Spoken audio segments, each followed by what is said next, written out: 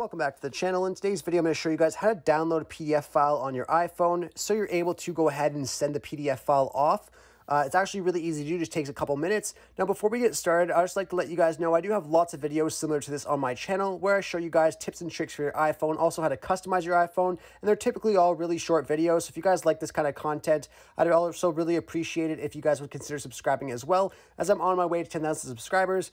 Anyhow, let's get on with this video. So first off, you just got to find a PDF file that you want to download. So I just have on Safari right here a couple PDFs that you could tell uh, their PDFs just by right on the side. You'll see it says PDF beside it. Uh, now, so let's just say if I want to download this PDF right here, I'm just going to go click on it. And then you guys will see here, it's to load up and it's going to load in as a PDF, just like this. So now you guys have two options. You could either share it to your photos, or not your photos app, your books app.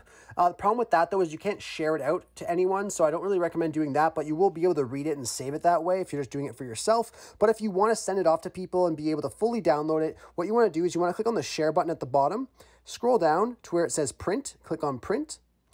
And once you're on print here, you want to click and drag and zoom just like this. So I just clicked on it and then started to drag it and then it came into this. So you just drag on it like you're zooming into a photo kind of thing. Uh, anyhow, once you do that, you just want to click on the share button at the very top of that as well. And then go over to notes, click on notes. And then here you will see it's going to offer to save it to a note. So what we're going to do is we want to make sure it's saving to where we want to. So it is good to save there for me. I'm just going to click on create new one just in case though. Uh, so once you've done that, you just want to click on save at the top. And then if we exit out of here, we can go into our notes.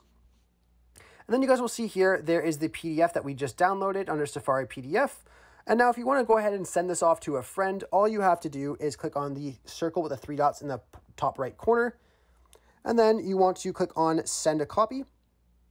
And then here you could either send it on like Snapchat, Messenger, text, Discord, really whatever you want. You could also save it to your Files app too, so you're able to access it to your computer or anything like that.